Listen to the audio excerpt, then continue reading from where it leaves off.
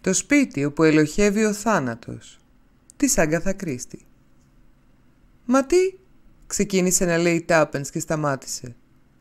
Μόλις είχε μπει στο γραφείο του κυρίου Μπλαντ από την πόρτα που ένωνε με το δωμάτιο με την επιγραφή υπάλληλη και είχε μείνει έκπληκτη καθώς έπιασε τον κύριο και αφέντη της να έχει κολλημένο το μάτι του στο ματάκι της πόρτας που επέτρεπε να βλέπει στην αίθουσα υποδοχής. «Στ», έκανε ο Τόμι προειδοποιητικά. «Άκουσες το βομβητή» Είναι μια κοπέλα, μάλλον όμορφη. Δηλαδή εμένα μου φαίνεται τρομερά όμορφη. Ο Άλμπερτ της σερβίρει όλο το παραμύθι, ότι είμαι δίθεν απασχολημένος με τη Scotland Yard. Άσε με να δω, είπε παρακλητικά η Τάπενς. Λιγάκι απρόθυμα ο Τόμι έκανε στο πλάι. Με τη σειρά της η Τάπενς κόλλησε το μάτι στον Ιούδα. Δεν είναι κακή, παραδέχτηκε. Άσε που τα ρούχα της είναι η τελευταία λέξη της μόδας. Είναι πανέμορφη, είπε ο Τόμι. Είναι σαν εκείνες τις κοπέλες που περιγράφει ο Μέισον. Ξέρεις ποιες. Εκείνες τις τρομερά συμπαθητικές και όμορφες και ιδιαίτερα έξυπνες, χωρίς να είναι όμως και πολύ αφθάδεις. Ναι, νομίζω ότι... Μάλλον είμαι βέβαιος. Θα το παίξω σήμερα μέγα σανό. Χμ, έκανε η Τάπενς. Αν υπάρχει ένας μεταξύ όλων των detective που δεν θα τα καταφέρεις να παίξεις το ρόλο, αυτός νομίζω πως είναι ο Ανώ. Μπορείς εσύ να αλλάξεις προσωπικότητα στη στιγμή; Μπορείς να είσαι κορυφαίος ηθοποιός, αλάνι, σοβαρός και συμπαθητικός φίλος και όλα αυτά μέσα σε πέντε λεπτά; Αυτό που ξέρω είναι, είπε ο Τόμι χτυπώντας το χέρι στο γραφείο, πως εγώ είμαι ο αρχηγός εδώ μέσα και αυτό Τάπενς να μην το ξεχνάς. Θα τη δεχτώ. Πάτησε το βομβητή του γραφείου του. Ο Άλμπερτ εμφανίστηκε φέρνοντας μέσα την κοπέλα. Η νεαρή σταμάτησε στο κατώφλι σαν αναποφάσιστη. Ο Τόμι πήγε προς το μέρος της. «Περάστε, μαντμουαζέλ», της είπε ευγενικά. «Καθίστε εδώ». Η Τάπενς ξεροκατάπια δυνατά και ο Τόμι γύρισε προς το μέρος της με ξαφνική αλλαγή συμπεριφοράς. Ο τόνος του ήταν απειλητικός. «Είπατε κάτι, Μις Ρόμπινσον» «Α, όχι. Καλά το φαντάστηκα». Ξαναγύρισε προς την κοπέλα. Α μην είμαστε πολύ σοβαροί και τυπικοί, είπε. Εσείς απλώς θα μου πείτε το θέμα και ύστερα θα συζητήσουμε για να βρούμε τον καλύτερο τρόπο για να σας βοηθήσουμε. Είστε πολύ ευγενικός, είπε η κοπέλα. Με συγχωρείτε όμως, είστε αλλοδαπός. Καινούργιο ξεροκατάπημα της Τάπενς. Ο Τόμι τη τραβοκοίταξε με την άκρη του ματιού του. Ε, όχι ακριβώς, είπε με δυσκολία. Τα τελευταία όμως χρόνια δούλεψα πολύ στο εξωτερικό. Έχω υιοθετήσει τις μεθόδους της Σουρετέ. Ω, η κοπέλα έδειξε να εντυπωσιάζεται. Ήταν πράγματι, όπως είχε πει ο Τόμι, μια πολύ γοητευτική κοπέλα. Νεαρή, λεπτή, με χρυσαφέωνια μαλλιά που ξεπηδούσαν από το καφέ τσόχινο καπελάκι της και με μεγάλα και σοβαρά μάτια. Έδειχνε καθαρά πως την κατήχε μια νευρικότητα. Πάλευε συνεχώς με τα χεράκια της και όλο ανοιγόκλεινε το κούμπομα της λουστρινένιας τσάντας της. «Πρέπει πριν από όλα, κύριε Μπλάντ, να σας πω το όνομά μου. Λέγομαι Λόις Χάργκριβς. Κατοικώ σε ένα μεγάλο, δεδαλώδες και παλιωμοδίτικο σπίτι, το Tarnley Glaze. Βρίσκεται στην καρδιά της χώρας και έχει κοντά του το χωριό Tarnley, που όμως είναι μικρό και ασήμαντο. Το χειμώνα υπάρχει πολύ κυνήγι και το καλοκαίρι τένις και ποτέ δεν ένιωσα μοναξιά εκεί πέρα. Στην πραγματικότητα προτιμώ την εξοχή από τη ζωή στην πόλη. Σας τα λέω αυτά για να καταλάβετε ότι σε ένα χωριό στην εξοχή οτιδήποτε συμβεί έχει μεγάλη σημασία.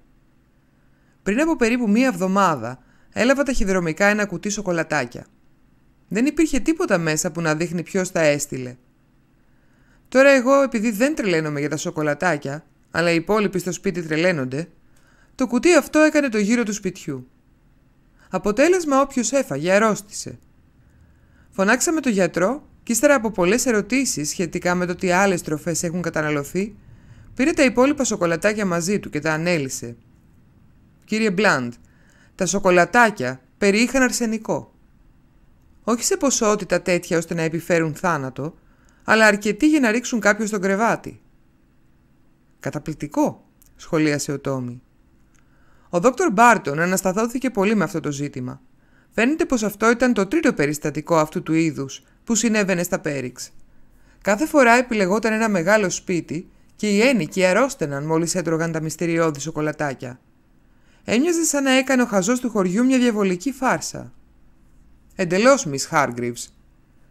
Ο Δόκτωρ Μπράουν, μάλλον αδικαιολόγητα κατά τη γνώμη μου, θέλησε να το χρεώσει στου σοσιαλιστές. Υπάρχουν όμως ένα-δύο δυσαρεστημένοι στο χωριό και φαίνεται πιθανό να έχουν σχέση με αυτή την ιστορία. Ο Δόκτωρ Μπάρτον επέμενε πως πρέπει να ειδοποιήσω την αστυνομία. Μια πολύ φυσιολογική σύσταση, είπε ο Τόμι.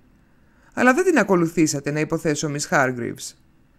Όχι, παραδέχτηκε η κοπέλα. Συχαίνω με τις αυσαρίε και τη δημοσιότητα που επακολουθεί. Έπειτα βλέπετε, γνωρίζω τον τοπικό επιθεωρητή. Δεν μπορώ να τον φανταστώ ικανό να βρει οτιδήποτε. Είχα δει αρκετές φορές την αγγελία σας και είπα στο δόκτωρα Μπάρτον ότι θα ήταν προτιμότερο να καλέσουμε ιδιωτικούς detective. Κατάλαβα. Υπόσχεστε μεγάλη διακριτικότητα στις αγγελίες σας. Αυτό συνεπάγεται. Θέλω να πω είναι βέβαιο ότι δεν θα δώσετε τίποτα στη δημοσιότητα χωρίς την έγκρισή μου. Ο Τόμι την κοίταξε με περιέργεια, αλλά μίλησε η Τάπενς. Νομίζω, είπε ήρεμα, ότι θα ήταν προτιμότερο να μας έλεγε η Miss Hargreaves τα πάντα. Έριξε ένα ιδιαίτερο βάρος στην τελευταία λέξη και η Lois Hargreaves κοίταξε κοκκινισμένη. «Ναι», είπε αμέσως και ο Τόμι, «η Miss Ρόμπινσον έχει δίκιο. Πρέπει να μας πείτε τα πάντα». «Δεν θα...» δίστασε. «Οτιδήποτε μας πείτε, εξυπακούεται ότι είναι αυστηρά εμπιστευτικό». «Σας ευχαριστώ. Ξέρω ότι πρέπει να είμαι απόλυτα ειλικρινής μαζί σας. Έχω κάποιον λόγο που δεν θέλω να αποταθώ στην αστυνομία. Κύριε Μπλαντ, αυτό το κουτί τα σοκολατάκια το έστειλε κάποιος από το σπίτι μας. Πώς το γνωρίζετε αυτό, Ματμαζέλ; Είναι απλούστατο. Έχω μια συνήθεια, οπότε τύχει να κρατάω ένα μολύβι στο χέρι, να ζωγραφίζω μια σαχλαμάρα, τρία ψαράκια πλεξουδωτά. Πριν από λίγο καιρό έφτασε από κάποιο κατάστημα του Λονδίνου ένα δέμα με μεταξωτές κάλτσες. Βρισκόμασταν στο τραπέζι και παίρναμε το πρωινό μας. Εγώ μόλις είχα σημειώσει κάτι στην εφημερίδα και μηχανικά άρχισα να ζωγραφίσω τα ψαράκια μου πάνω στην ετικέτα του μαγαζιού πριν κόψω το σπάγκο και το ανοίξω. Δεν απασχόλησε άλλο τη σκέψη μου το θέμα, αλλά όταν έπιασα να εξετάζω το καφετή περιτύλιγμα του κουτιού με τα σοκολατάκια, το μάτι μου έπεσε σε ένα κομμάτι της ετικέτας εκείνης, της οποίας το μεγαλύτερο μέρος ήταν σκισμένο. Πάνω στο απομινάρι είδα τα ψαράκια μου. Ο Τόμι έφερε πιο μπροστά την καρέκλα του. Αυτό είναι πολύ σοβαρό. Δημιουργεί, όπως είπατε, μεγάλες υποψίες ότι ο αποστολέας του κουτιού με τα σοκολατάκια είναι κάποιος του σπιτιού. Αλλά, και σας ζητώ συγγνώμη για αυτό που θα πω, εξακολουθώ να μην καταλαβαίνω γιατί αυτό το γεγονός θα σας έκανε να μην θέλετε να ειδοποιηθεί η αστυνομία. Η Λόις Χάργκριβ τον κοίταξε κατάματα. Θα σας πω, κύριε Μπλαντ, μπορεί να θέλω να κουκουλώσω την όλη υπόθεση. Ο Τόμι ευγενικά υποχώρησε.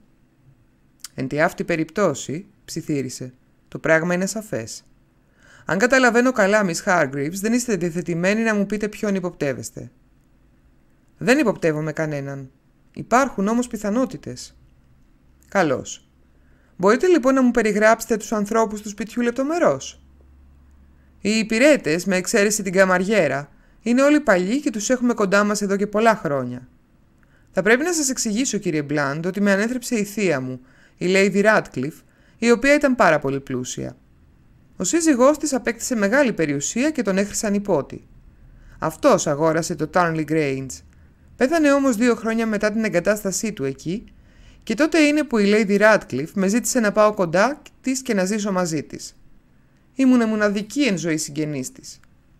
Η άλλη ένικη του σπιτιού είναι ο Ντένις Radcliffe, ο ανιψιός του συζύγου της. Πάντα τον αποκαλούσα ξάδερφο, αλλά φυσικά δεν είναι καθόλου. Η θεία Λούση πάντοτε έλεγε φανερά πως σκόπευε να αφήσει όλα της τα λεφτά, με εξαίρεση ένα μικρό ποσό για μένα, στον Ντένι. Ήταν χρήματα του Ράτκλιφ, έλεγε, και έπρεπε να πάνε σε ένα Ράτκλιφ. Παρ' όλα αυτά, όταν ο Ντένι έγινε 22 χρονών, τσακώθηκε πολύ βία μαζί του για κάποια χρέη που είχε κάνει, νομίζω. Όταν πέθανε ένα μήνα αργότερα, με έκπληξη ανακάλυψα ότι είχε κάνει μια διαθήκη με την οποία άφηνε τα πάντα σε μένα. Ξέρω πως αυτό ήταν μεγάλο χτύπημα για τον Ντένις και ένιωσα πολύ άσχημα εξαιτίας αυτού του γεγονότος. Θα του είχα δώσει τα λεφτά αν ήθελε να τα πάρει, Φαίνεται όμως πως τέτοια πράγματα δεν γίνονται. Παρά τα αυτά, μόλις πάτησα τα 21, έκανα μία διαθήκη και του τα άφηνα όλα. Αυτό είναι το μόνο που μπορώ να κάνω. Έτσι, αν με σκοτώσει ένα αυτοκίνητο, ο Ντένις θα αποκτήσει ξανά την περιουσία του. Ακριβώς, είπε ο Τόμι. Και πότε κλείσατε τα 21, αν επιτρέπετε; Προ τριών εβδομάδων ακριβώς. Α, έκανε ο Τόμι. Και μήπως μπορείτε να μου πείτε ποιοι κατοικούν τώρα στο σπίτι; Τους υπηρέτες ή τους άλλους; Όλους. Όπως σας είπα, οι υπηρέτες είναι μαζί μας πολλά χρόνια. Είναι ο ηλικιωμένος κύριος Holloway, ο μάγειρας και η ανιψιά του η Rose, η βοηθός στην κουζίνα. Μετά υπάρχουν δύο ηλικιωμένες υπηρέτριες και η Χάνα, που ήταν η προσωπική υπηρέτρια της θεία μου και που ήταν πάντοτε αφοσιωμένη σε μένα. Η καμαριέρα ονομάζεται Esther Quant και φαίνεται να είναι μια πολύ ευγενική και ήσυχη κοπέλα. Όσο για μας, είναι η Miss Logan που ήταν φίλη της θείας Λούση και που τώρα διευθύνει το σπίτι για μένα, και ο κύριος Ράτκλιφ, ο Ντένις δηλαδή, για τον οποίο σας μίλησα πριν. Και επίσης μια κοπέλα ονόματι Μέρι Τσίλκοτ, παλιά μου συμμαθήτρια, η οποία μένει μαζί μας. Ο Τόμις σκέφτηκε για λίγο και ύστερα είπε: Όλα αυτά φαίνονται απλά και κανονικά. Καταλαβαίνω ότι δεν έχετε ειδικούς λόγους να υποψιάζεστε κάποιον περισσότερο από κάποιον άλλον. Φοβάστε όμως, μήπως και είναι κάποιος που δεν ανήκει, ας πούμε, στο υπηρετικό προσωπικό; Ακριβώς, κύριε Μπλαντ. Ειλικρινά δεν έχω ιδέα ποιος χρησιμοποίησε αυτό το καφέ χαρτί. Η διεύθυνση ήταν δακτυλογραφημένη. Δεν υπάρχει κάτι άλλο που πρέπει να γίνει, είπε ο Τόμι, από το να πάω εγώ ίδιος εκεί. Η κοπέλα τον κοίταξε με απορία. Ο Τόμι αφού σκέφτηκε για ένα λεπτό συνέχισε. Νομίζω ότι πρέπει να προετοιμάσετε το έδαφος για την επίσκεψη του, ας πούμε, του κυρίου και της κυρίας Βαντάσεν, φίλων σας Αμερικανών. Θα μπορέσετε να το κάνετε αυτό με απόλυτη φυσικότητα. Και βέβαια, δεν θα υπάρξει καμία δυσκολία ως προς αυτό.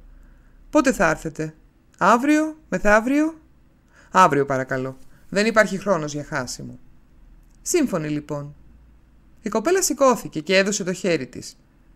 Και κάτι άλλο, Miss Hargreaves, σας παρακαλώ ούτε λέξη σε κανέναν. Σε κανέναν απολύτως για το ότι δεν είμαστε αυτοί που είμαστε. Τι λες για όλα αυτά, Τάπενς, τη ρώτησε όταν γύρισε από την εξώπορτα, όπου είχε συνοδέψει την επισκέπτρια. Δεν μου αρέσει αυτή η υπόθεση, είπε αποφασιστικά η Τάπενς. Ειδικά αυτό το κουτί με τα σοκολατάκια που περιέχουν τόσο λίγη ποσότητα αρσενικού. Μα τι υπενήσεσαι. Μα δεν καταλαβαίνεις. Όλα αυτά τα σοκολατάκια που μοιράζονταν παντού ήταν πρόσχημα, για να δημιουργηθεί η ιδέα του μανιακού του χωριού. Μετά, όταν η κοπέλα θα δηλητηριάζονταν στα αλήθεια, θα σκεφτόταν όλοι το ίδιο πράγμα. Αν δεν συνέβαινε το τυχαίο αυτό γεγονός, κανείς ποτέ δεν θα φανταζόταν ότι τα σοκολατάκια τα έστελνε κάποιος του σπιτιού. Πράγματι, βοήθησε το τυχαίο γεγονός. Έχεις δίκιο. Πιστεύεις ότι είναι ένα προμελητημένο σχέδιο εναντίον της ίδιας της κοπέλας; Αυτό φοβάμαι. Θυμάμαι ότι κάπου διάβασα για τη διαθήκη της μακαρίτησα Lady Ράτκλιφ. Αυτή η κοπέλα κληρονομεί ένα τρομακτικά μεγάλο χρηματικό ποσό. Ναι. Και όταν ενηλικιώθηκε προ τριών εβδομάδων έκανε τη διαθήκη. Άσχημα την έχει ο Ντένις Ράτκλιφ. Κερδίζει με το θάνατό της. Η Τάπενς έγναψε καταφατικά. Το χειρότερο από όλα είναι ότι και η ίδια αυτό σκέφτεται. Γι' αυτό δεν θέλει να φέρει την αστυνομία. Ήδη η ίδια τον υποπτεύεται. Και μάλλον θα είναι λίγο ερωτευμένη μαζί του για να ενεργεί έτσι. Σε αυτή την περίπτωση, έκανε σκεπτικός ο Τόμι, γιατί που να πάρει ο διάολος δεν την παντρεύεται; Πολύ πιο απλό και καθόλου επικίνδυνο. Η Τάπεν τον κοίταξε έκθαμβη. Μα τι είπες τώρα; Αγόρι μου, είμαι πανέτοιμη να μεταμορφωθώ σε Miss Βαντάσεν. Κοίτα με.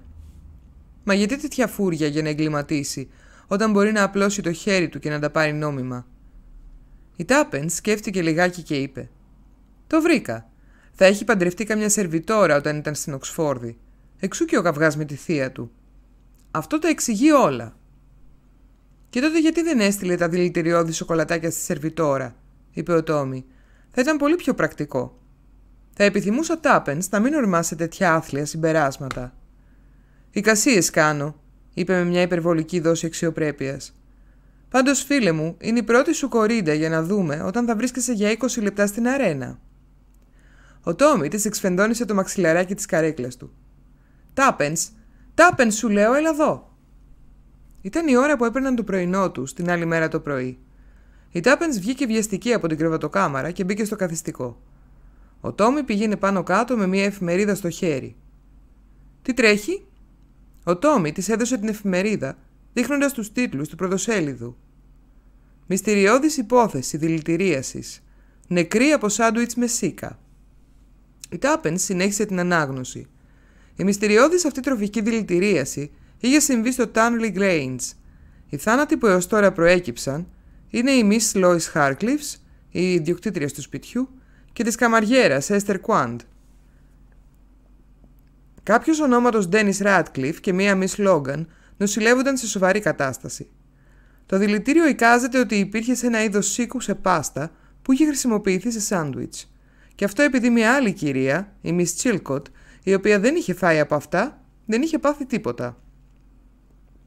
Πρέπει να πάμε αμέσως εκεί, είπε ο Τόμι. Το καημένο το κορίτσι. Το πανέμορφο κορίτσι. Μα γιατί δεν πήγα αμέσως μαζί της εκεί κάτω χθες. Αν είχες πάει, είπε η Τάπενς, θα είχες κατά πάσα πιθανότητα φάει το σάντουιτς με τα σίκα και τώρα θα ήσουν νεκρός. Έλα, ας φύγουμε. Από ό,τι βλέπω και ο Ντένις Ράτκλιφ είναι σε σοβαρή κατάσταση. Προσποιείται ο αλήτης. Έφτασαν στο Τάρνλι, ένα μικρό χωριό περίπου το μεσημέρι.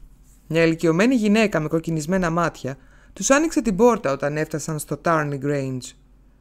Κοιτάξτε, της είπαμε στο Τόμι πριν προλάβει να μιλήσει. Δεν είμαι δημοσιογράφος ή τίποτα σχετικό. Εμείς Χάργκριβ ήρθε χθες και με βρήκε και μου ζήτησε να έρθω εδώ. Υπάρχει κάποιος με τον οποίο μπορώ να συζητήσω; Ο Δόκτωρ Μπάρτον είναι τώρα εδώ, αν θα θέλετε να μιλήσετε μαζί του, είπε η γυναίκα διστάζοντας. Είμαι τη Miss Τσίλκοτ. Εκείνη είχε αναλάβει όλες τις διαδικασίες.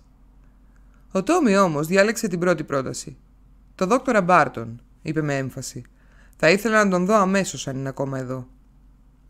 Η γυναίκα τους έβαλε σε ένα μικρό καθιστικό και σε πέντε λεπτά άνοιξε η πόρτα και ένας ψηλός ηλικιωμένος άντρας με κυρτούς ώμους και ένα ευγενικό αλλά αναστατωμένο πρόσωπο μπήκε μέσα. Ο Δόκτωρ Μπράουν, είπε ο Τόμι και του έδωσε την επαγγελματική του κάρτα. Η Miss Hargreaves ήρθε εχθές και μου μίλησε για εκείνα τα σοκολατάκια με το δηλητήριο. Ήρθα για να ερευνήσω την υπόθεση όπως μου ζήτησε. Πολύ αργά όμως, δυστυχώς. Ο γιατρός τον κοίταξε με ενδιαφέρον. Είστε ο ίδιος ο κύριος Μπλαντ, Μάλιστα. Και από εδώ η βοηθός μου, η Miss Ρόμπινσον. Ο γιατρός έκανε μια υπόκληση προς την Τάπενς. Υπό τις παρούσες συνθήκες δεν υπάρχει λόγος για επιφυλάξεις. Αν δεν είχαν προηγηθεί οι δηλητηριάσεις με τα σοκολατάκια, θα μπορούσα να έχω εντάξει τους θάνατους σε τροφική δηλητηρίαση. Αλλά σε μια δηλητηρίαση εξαιρετικής τοξικότητας με φλεγμονή των εντέρων και αιμορραγία. Λαμβανομένων υπόψη όμως όλων των γεγονότων, προτίμησα να δω την πάστα του σίκου για ανάλυση. Σκέπτεστε ότι μπορεί να έγινε δηλητηρίαση με χρήση αρσενικού; Όχι. Αυτό το δηλητήριο, αν αποδειχτεί ότι είναι δηλητήριο, είναι πιο γρήγορο και πιο ισχυρό. Πιο κοντά σε μία φυτική τοξίνη. Κατάλαβα. Και ο κύριος Ράτκλιφ, με συγχωρείτε για την ερώτηση, είστε βέβαιος ότι υποφέρει από την ίδια τοξική ουσία; Ο γιατρός τον κοίταξε. Ο κύριος Ράτκλιφ δεν υποφέρει πια από καμία ουσία. Α, έκανε ο Τόμι. Ήμουν ο κύριος Ράτκλιφ πέθανε σήμερα το πρωί στις 5. Ο Τόμι έμεινε στήλη άλατος. «Και η Μις Λόγκαν, το άλλο θύμα» ρώτησε η Τάπεν στη στιγμή που ο γιατρός ετοιμάζονταν να φύγει. «Αφού επέζησε ως τώρα έχω βάσιμες ελπίδες ότι θα γλιτώσει. Λόγω του προχωρημένου της ηλικίας της, το δηλητήριο επέδρασε λιγότερο έντονα σε αυτήν. Θα σας κρατήσω ενήμερο για τα αποτελέσματα της ανάλυσης, κύριε Μπλάντ. Στο μεταξύ, η Miss Chilcott θα χαρεί πολύ να απαντήσει στις ερωτήσεις σας. Ενώ μιλούσε, άνοιξε η πόρτα και εμφανίστηκε μια κοπέλα. Ήταν ψηλή, με ηλιοκαμένο πρόσωπο και γαλάζια ατάραχα μάτια. Ο γιατρός Μπάρτον έκανε τις απαραίτητες συστάσεις. «Χάρηκα που ήρθατε, κύριε Μπλάντ», είπε η Μέρι Τσίλκοτ. «Η υπόθεση φαίνεται να είναι πολύ απέσια. Υπάρχει κάτι που θα θέλετε να μάθετε και που μπορώ να σας πω». «Πώς έφτασε εδώ η πάστα του Σίκου» Είναι κάτι το πολύ ειδικό και το στέλνουν από το Λονδίνο. Το παίρνουμε συχνά. Κανείς δεν υποπτεύθηκε ότι αυτό το συγκεκριμένο βάζο είχε κάποια διαφορά από τα άλλα. Εμένα πάντως δεν μου αρέσει η γεύση του σίκου. Έτσι εξηγείται και η ανοησία μου. Δεν μπορούσα να καταλάβω πώς δηλητηριάστηκε ο Ντένις αφού ήταν καλεσμένος για τσάι. Θα πρέπει να δοκίμασε ένα σάντουιτς όταν γύρισε στο σπίτι, υποθέτω. Ο Τόμι ένιωσε το χέρι της Τάπενς να τους σπρώχνει αδιόρατα τον μπράτσο. «Τι ώρα γύρισε» ρώτησε ο Τόμι. «Δεν ξέρω. Θα μπορούσα όμως να μάθω». «Σας ευχαριστώ, Miss Τσίλκοτ. Δεν χρειάζεται. Φαντάζομαι ότι δεν έχετε αντίρρηση να ανακρίνω το προσωπικό». «Παρακαλώ, κάντε ό,τι νομίζετε, κύριε Μπλάντ. Στα αλήθεια, πάω να τρελαθώ. Πέστε μου, δεν φαντάζεστε να υπήρξε εγκληματική ενέργεια». Τα μάτια της ήταν πολύ ανήσυχα καθώς έκανε την ερώτηση. Δεν ξέρω τι να σκεφτώ. Θα μάθουμε όμως σύντομα. Ναι, υποθέτω ότι ο Δόκτωρ Μπράουν θα δώσει την πάστα για ανάλυση. Ξαφνικά ζητώντας συγγνώμη, βγήκε από την πόρτα της βεράντας για να μιλήσει με ένα από τους κυπουρούς. «Να αναλάβεις τάπεν στις υπηρέτριες του σπιτιού», είπε ο Τόμι, «και εγώ θα πάω στις κουζίνες. Η Μις Τσίλκοτ λέω διατυμπανίζει πως πάει να τρελαθεί, αλλά δεν της φαίνεται και τόσο. Η Τάπεν έκανε νόημα από συμφωνία, αλλά δεν μίλησε. Το ζευγάρι συναντήθηκε ξανά ύστερα από μισή ώρα. Α συγκρίνουμε τώρα τα αποτελέσματα, είπε ο Τόμι. Οι φέτε με την πάστα σίκου σερβιρίστηκαν την ώρα του τσαγιού. Η καμαριέρα έφαγε μία και έτσι την πάτησε. Ο μάγειρας είναι βέβαιος ότι ο Ντένις Ράτκλιφ δεν είχε επιστρέψει όταν μαζεύτηκε το τραπέζι του τσαγιού. Πώς λοιπόν δηλητηριάστηκε. Γύρισε σπίτι στις 7 παρατέταρτο, είπε η Τάπενς. Τον είδε η υπηρέτρια από κάποιο παράθυρο. Ήπια ένα κοκτέιλ πριν από το βραδινό φαγητό στη βιβλιοθήκη. Εκείνη τη στιγμή που πήγα και τη βρήκα, μάζευε το ποτήρι και ευτυχώς της το πήρε πριν προλάβει να το πλύνει. Αφού ήπια το κοκτέιλ, άρχισε να λέει πως δεν ένιωθε καλά. Καλά, είπε ο Τόμι. Θα πάω στον Μπάρτον το ποτήρι σε λίγο. Τίποτα άλλο; Θα ήθελα να δεις τη Χάνα, την υπηρέτρια. Μου φαίνεται κάπως παράξενη. Τι παράξενη δηλαδή; Μου φάνηκε σαν να μην είναι στα καλά της. Για πηγαίνε με να τη δω. Η Τάπενς τον οδήγησε πάνω. Η Χάνα είχε ένα ατομικό μικρό καθιστικό. Καθόταν σε μια καρέκλα με ψηλή ράχη. Στην ποδιά της υπήρχε μια βίβλος ανοιχτή. Δεν γύρισε να κοιτάξει τους δύο ξένους που έμπαιναν. Αντίθετα συνέχισε να διαβάζει φωνακτά. «Άνθρακες πεπυρακτωμένοι, ας πέσος είναι π' αυτούς. Ας ρυφθός είναι στο πυρ, εις λάκους βαθύς, δια να μην εγερθώσει πλέον». «Θα μπορούσα να σας μιλήσω για λίγο» ρώτησε ο Τόμι. Η Χάνα έκανε μία κίνηση αδημονίας με το χέρι της. «Όχι τώρα. Δεν υπάρχει χρόνος νομίζω. Κατεδίωξα τους εχθρούς μου και έφτασα αυτούς και δεν επέστρεψα έως σου συντετέλεσα αυτούς». Έτσι λέει η Γραφή. Ο λόγος του Κυρίου ακούστηκε από μένα. Είμαι η μάστιγα του Κυρίου. Τρελή για δέσιμο, ψιθύρισε ο Τόμι. Έτσι κάνει συνέχεια ψιθύρισε η Τάπενς. Ο Τόμι σήκωσε ένα βιβλίο που κοίτονταν ανοιχτό ανάποδα πάνω στο τραπέζι. Έριξε μια ματιά στον τίτλο και το έβαλε στη τσέπη του. Ξαφνικά η ηλικιωμένη γυναίκα σηκώθηκε και γύρισε μηχανικά προς το μέρος τους. «Βγείτε έξω από εδώ. Ήρθε η στιγμή. Είμαι το πρωινό άστρο του Κυρίου. Ο δε άνεμος όπου θέλει πνέει και τη φωνή να αυτούν ακούει. Έτσι κι εγώ θα καταστρέψω. Οι ανώσοι θα αφανιστούν. Εδώ είναι το σπίτι του κακού. Του κακού σας λέω. Να τρέμετε την οργή του Κυρίου, του οποίου είμαι στην υπηρεσία. Προχώρησε εναντίον τους με μανία. Ο Τόμι θεώρησε πως θα έπρεπε να της κάνει τη χάρη και έτσι έφυγαν. Καθώς έκλεινε βγαίνοντας την πόρτα, την είδε πάλι που πήρε τη βίβλο. Αναρωτιέμαι αν ήταν έτσι ανέκαθεν, ψιθύρισε. Έβγαλε από την τσέπη του το βιβλίο που είχε πάρει από το τραπέζι. Για κοίτα εδώ, περίεργο ανάγνωσμα για μια αμόρφωτη υπηρέτρια. Η Τάπενς πήρε το βιβλίο. Ματέρια Μέντικα ψιθύρισε και κοίταξε προσεκτικά το εσώφυλλο. Έντουαρ Λόγκαν.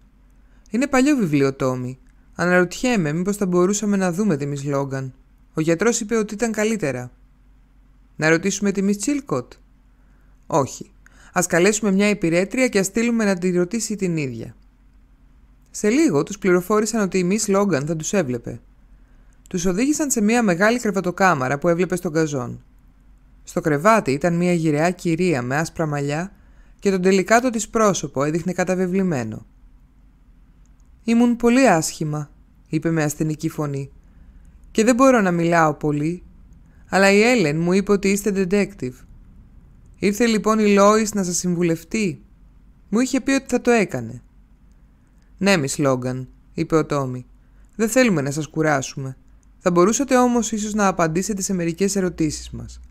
Η υπηρέτρια, η Χάνα, είναι στα καλά της; Η Μις Λόγκαν τους κοίταξε με ολοφάνερη έκπληξη. Μα και βέβαια. Είναι πολύ θρήσκα, αλλά είναι πολύ καλά στα μυαλά της. Ο Τόμι έβγαλε το βιβλίο που είχε πάρει από το τραπέζι. «Αυτό είναι δικό σας, Μις Λόγκαν» «Ναι, ήταν από τα βιβλία του πατέρα μου. Ήταν ένας σπουδαίος γιατρός, ένας πρωτοπόρος στους θεραπευτικούς ορούς», είπε με φωνή που παλόταν από υπερηφάνεια. «Έτσι λοιπόν, γι' αυτό είχα την εντύπωση πως ήξερα το όνομά του», είπε ο Τόμι ψευδόμενος ανέσχυντα. «Και αυτό εδώ το βιβλίο το είχατε δανείσει στη Χάνα» «Στη Χάνα» είπε η Μις Λόγκαν και ανασηκώθηκε με αναγανάκτηση από το κρεβάτι της. Όχι βέβαια. Δεν επρόκειτο να καταλάβει ούτε την πρώτη λέξη αυτού του βιβλίου. Είναι ένα εντελώς επιστημονικό σύγγραμμα. Ναι, αυτό βλέπω κι εγώ. Όμως το βρήκα στο δωμάτιό της. Έσχος. Οι υπηρέτες δεν έχουν κανένα δικαίωμα να πειράζουν τα πράγματά μου. Πού έπρεπε να βρίσκεται, Στο ράφι με τα βιβλία του καθιστικού μου. Ή μάλλον. Όχι, το δάνεισα στη μέρη. Το καλό μου το κορίτσι ενδιαφέρεται πολύ για τα βότανα. Έκανες στο κουζινάκι μου μερικά πειράματα. Έχω, ξέρετε, ένα μικρό μέρος δικό μου, όπου, ξέρετε, φτιάχνω λικέρ και κονσέρβες όπως παλιά. Η καλή μου η Λούση, η Lady Radcliffe δηλαδή, έπαιρνε όρκο για το ζεστό μου κατά του συναχιού, το βαλσαμόχορτο. Η καημένη η Λούση. Πάθαινε συχνά συνάχη. Και ο Ντένις επίσης. Το καημένο το παιδί. Ο πατέρας του ήταν πρώτος μου ξάδερφος. Ο Τόμι διέκοψε τις αναμνήσεις της. Είχατε δικό σας κουζινάκι; Το χρησιμοποιεί και κάποιος άλλος εκτός από τη Miss Τσίλκοτ και εσάς. Η Χάνα το καθαρίζει και επίσης εκεί κάνει και το τσάι που μας φέρνει το πρωί στο κρεβάτι. Σας ευχαριστώ, Miss Λόγκαν, είπε ο Τόμι. Προς το παρόν δεν έχω άλλες ερωτήσεις. Ελπίζω να μην σας κουράσαμε πολύ. Βγήκε από το δωμάτιο και κατέβηκε τη σκάλα συνοφριωμένος. Εδώ, αγαπητέ μου κύριε Ρικάρντο, μονολόγησε. Υπάρχει κάτι που δεν το καταλαβαίνω. Το συχαίνω με αυτό το σπίτι, είπε η Τάπενς με μια ανατριχίλα. Α κάνουμε ένα ωραίο και μεγάλο περίπατο και ας προσπαθήσουμε να ξεκαθαρίσουμε κάποια πράγματα. Ο Τόμι συμφώνησε και έτσι ξεκίνησαν. Προηγουμένως άφησαν το ποτήρι του κοκτέιλ στο σπίτι του γιατρού και ύστερα πήγαν και πήραν το δρόμο που διέσχιζε την εξοχή, ενώ ταυτόχρονα μιλούσαν για την υπόθεση. Τα πράγματα γίνονται ευκολότερα για κάποιον που το παίζει τρελός, είπε ο Τόμι. Κι ύστερα όλο αυτό το θέατρο, αλλά ανώ. Κάποιος θα μπορούσε να πει ότι δεν με νοιάζει. Κι όμως με νοιάζει. Και πολύ μάλιστα. Έχω την αίσθηση πως με τον ένα ή τον άλλο τρόπο θα μπορούσαμε να το έχουμε εμποδίσει όλο αυτό. Εγώ λέω πως λες κουταμάρες, είπε η Τάπενς. Δεν είναι σαν να είπαμε εμείς στη Λόις Χάργκριβ να μην πάει στη Σκοτλαντιάρδη κάτι τέτοιο. Με τίποτα δεν θα έφερνε την αστυνομία για να ερευνήσει. Αν δεν είχε έρθει σε εμάς, δεν θα είχε πάει πουθενά. Και το αποτέλεσμα θα ήταν το ίδιο. Ναι, έχεις δίκιο, Τάπεντ. Είναι άρρωστο να κατηγορείς τον εαυτό σου για κάτι που ήταν αδύνατο να κάνει. Αυτό που θα ήθελα όμως τώρα είναι να μπορέσω να κάνω κάτι. Και αυτό δεν θα είναι εύκολο. Όχι, δεν θα είναι. Υπάρχουν ένα σωρό εικασίες και όμως όλες δείχνουν άστοχες και απίθανες. Α υποθέσουμε ότι ο Ντένις Ράτκλιφ έβαλε το δηλητήριο στις φέτες με το σίκο. Ήξερε πως την ώρα του τσαγιού δεν θα ήταν σπίτι. Πανεύκολο. Ναι, είπε η Τάπενς. Ω εκεί καλά. Όμως το γεγονός πως και αυτός δηλητηριάστηκε τον απαλλάσσει. Υπάρχει ένα πρόσωπο που δεν πρέπει να ξεχνάμε. Τη Χάνα. Τη Χάνα. Οι άνθρωποι, οι μανιακοί με τη θρησκεία, κάνουν ένα σωρό παράξενα πράγματα. Και αυτή το πάει μακριά, είπε ο Τόμι. Θα έπρεπε ίσως να πεις κάτι γι' αυτό στον δόκτωρα Μπάρτον. Μάλλον ξαφνικό της ήρθε, αν πιστέψουμε τα λεγόμενα της Μις Λόγκαν. Νομίζω ότι αυτό συμβαίνει όταν είσαι μανιακός με τη θρησκεία, είπε ο Τόμι.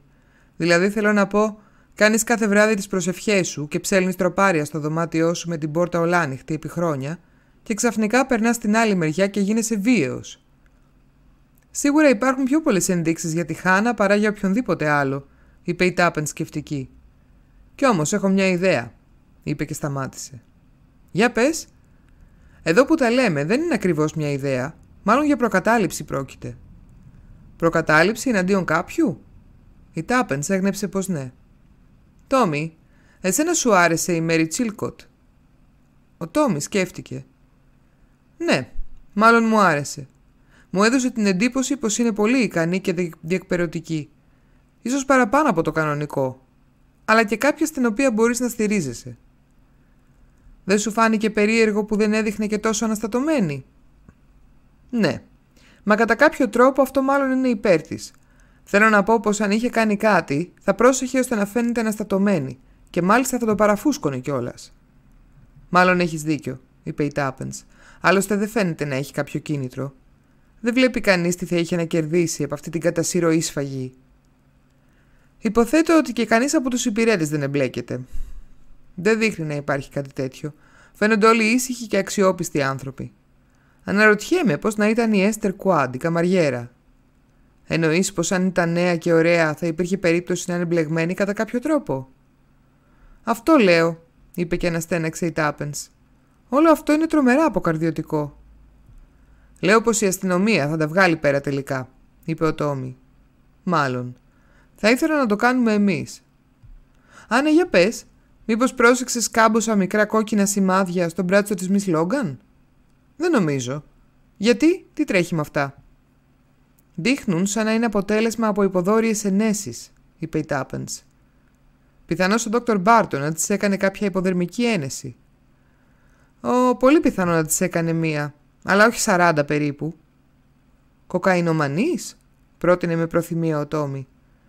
Το σκέφτηκα κι αυτό, είπε η Τάπενς. Τα μάτια της όμως ήταν μια χαρά. Αν έπαιρνε κοκαίνη ή μορφίνη θα φαινόταν αμέσως. Άλλωστε δεν δείχνει να είναι αυτού του είδους γυναίκα. Μάλλον αξιοπρεπής και θεοσεβούμενη δείχνει, συμφώνησε και ο Τόμι. Όλα είναι πολύ δύσκολα, είπε η Τάπενς. Είπαμε και είπαμε, αλλά δεν φαίνεται να προοδεύσαμε καθόλου. Α μην ξεχάσουμε να περάσουμε από το γιατρό επιστρέφοντας στο σπίτι. Την πόρτα του γιατρού την άνοιξε ένα ψηλόλυνο παιδί γύρω στα 15. Είστε ο κύριος Μπλαντ, ρώτησε.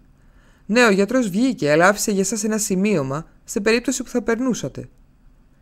Τους το έδωσε και ο Τόμι το άνοιξε. Κύριε Μπλαντ, υπάρχουν λόγοι που με κάνουν να πιστεύω ότι το δηλητήριο που χρησιμοποιήθηκε ήταν ρικίνη, που προέρχεται από ένα φυτό τρομερά τοξικό. Παρακαλώ κρατήστε επί του παρόντος μόνο για εσάς την πληροφορία. Ο Τόμι άφησε το σημείωμα να πέσει, αλλά το σήκωσε αμέσως. Ρικίνη, ψιθύρισε. Ξέρεις τίποτα γι' αυτό, Τάπενς; Εσείς ξέρετε αρκετά πράγματα πάνω σε αυτά. Ρικίνη, είπε ενώ σκεφτόταν η Τάπενς. Βγαίνει από ένα φυτό που λέγεται ρίκινος, από το οποίο εξάγεται το καστορέλαιο, νομίζω. Ποτέ μου δεν τα πήγαινα καλά με το καστορέλαιο, είπε ο Τόμι. Τώρα είμαι ακόμα πιο πολύ παρά ποτέ εναντίον του. Το έλαιο είναι εντάξει. Η ρικίνη βγαίνει από τους σπόρους του φυτού. Νομίζω πως σήμερα το πρωί είδα μερικά τέτοια φυτά στον κήπο. Κάτι μεγάλα φυτά με γυαλιστερά φύλλα. Θέλεις να πεις ότι κάποιος έβγαζε εκχύλισμα εδώ επί τόπου; Θα μπορούσε η Χάνα να κάνει κάτι τέτοιο. Η Τάπεν έγνεψε αρνητικά. Δεν φαίνεται πιθανό, δεν θα ήξερε. Ξαφνικά ο Τόμι έβγαλε ένα επιφώνημα. Το βιβλίο. Είναι ακόμα στην τσέπη μου. Ναι. Το έβγαλε και το ξεφύλισε με βιασύνη. Καλά το υποπτεύτηκα. Να η σελίδα στην οποία ήταν ανοιχτό όταν το βρήκα το πρωί. Βλέπεις Τάπενς; Ρικίνη. Η Τάπενς του άρπαξε το βιβλίο από τα χέρια. Μπορείς να βγάλεις άκρη, γιατί εγώ δεν βγάζω. Για μένα είναι ολοφάνερο, είπε η Τάπενς. Άρχισε να περπατάει, διαβάζοντας προσεκτικά, με το ένα της χέρι στο μπράτσο του Τόμι για να στηρίζεται. Σε λίγο έκλεισε το βιβλίο, χτυπώντας το. Τώρα βρίσκονταν πάλι κοντά στο σπίτι. Τόμι, θέλεις να το αφήσεις πάνω μου; Βλέπεις για μια φορά και μόνο είμαι ο Ταύρος που έμεινε πάνω από 20 λεπτά στην αρένα. Ο Τόμι έγνεψε πως ναι. Θα είσαι ο καπετάνιος του πλοίου, Τάπενς, είπε με σοβαρότητα. Πρέπει να φτάσουμε στον πάτο αυτής της ιστορίας. Πριν απ' όλα, είπε η Τάπενς καθώς έμπαιναν στο σπίτι, πρέπει να κάνω άλλη μια ερώτηση στη Μη Λόγκαν. Ανέβηκε τρέχοντας στη σκάλα. Ο Τόμι την ακολούθησε. Χτύπησε την πόρτα της ηλικιωμένης και μπήκε μέσα. Εσείς είστε χρυσή μου, είπε η Μη Λόγκαν. Ξέρετε πως είστε πολύ νέα και όμορφη για να είστε detective.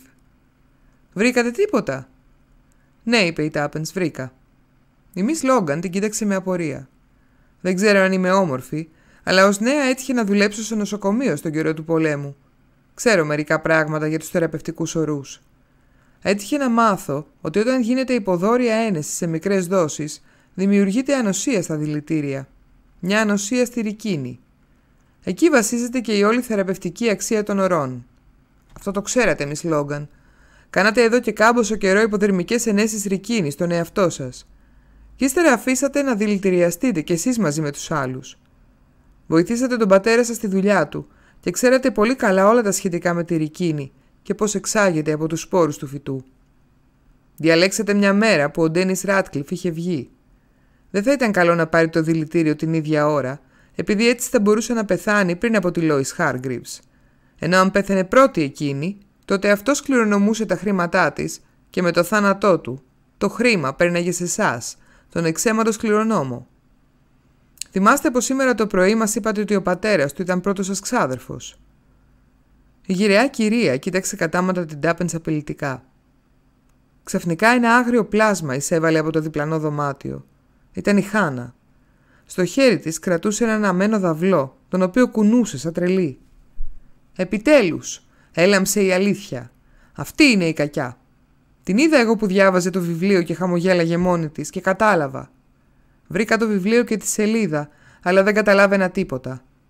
Η φωνή όμως του κυρίου μου μίλησε. Αυτή μισούσε την κυρία μου, τη Λέδη. Τη ζήλευε και τη φθονούσε ανέκαθεν. Μισούσε την καλή, τη γλυκιά μου Μισλόης. Αλλά η ασεβής θέλουση εξολοθρευθεί και στην πειρά του κυρίου θέλωση αναλωθεί. Με το δαυλό στο χέρι όρμησε προς το κρεβάτι. Μία κραυγή ακούστηκε από τη γριά κυρία. «Διώξτε τη! Διώξτε τη! Αλήθεια είναι, αλλά διώξτε τη!» Η Τάπενς έπεσε πάνω στη Χάνα, αλλά η γυναίκα κατάφερε να βάλει φωτιά στις κουρτίνες του κρεβατιού πριν προλάβει η Τάπενς να πάρει το δαυλό και να τον σβήσει. Στο μεταξύ ο Τόμι είχε ορμήσει μες στο δωμάτιο. Τράβηξε τις δύο κουρτίνες και κατάφερε να σβήσει τις φλόγες με μία κουβέρτα και ύστερα έτρεξε να βοηθήσει την Τάπενς. Και οι δύο μαζί κατάφεραν να υποτάξουν τη Χάνα τη στιγμή που έμπαινε μέσα ο γιατρός Μπάρτον τρέχοντας. Δύο κουβέντες έφτασαν για να τον βάλουν ο κουράν της κατάστασης. Έτρεξε στο κρεβάτι, σήκωσε το χέρι της Μις Λόγκαν και έβγαλε μία κραυγή. Το σοκ της φωτιάς στάθηκε πολύ για αυτή. Είναι νεκρή. Ίσως δεδομένου των συνθηκών να είναι καλύτερα έτσι. Έκανε μία παύση και πρόσθεσε. Και στο ποτήρι του κοκτέιλ υπήρχαν ίχνη ρικίνης επίσης. Έγινε ό,τι καλύτερο μπορούσε να γίνει, είπε ο Τόμι όταν πια είχαν αφήσει τη Χάνα στα χέρια του γιατρού και είχαν ξαναβρεθεί μόνοι της. Τάπενς, ήσουν πραγματικά θαυμάσια. Δεν το παίξαμε και πολύ ανώ, είπε η Τάπενς. Παρά ήταν σοβαρό για να κάνουμε θέατρο. Ακόμα δεν αντέχω να σκέφτομαι ότι αυτό το κορίτσι... Δεν θέλω να τη σκέφτομαι. Αλλά όπως σου είπα και πριν, ήσουν υπέροχοι. Σου αξίζουν όλοι οι έπαινοι. Και όπως λέμε λαϊκά, μεγάλη ιστορία να μην δείχνεις έξυπνος αλλά να είσαι. «Τόμι, είσαι γαϊδούρη», είπε η Τάπενς. Αστυνομικές ιστορίες, ιστορίες φαντασίας και μυστηρίου. Αφήγηση Αναγκίκα για το Murder by Craft.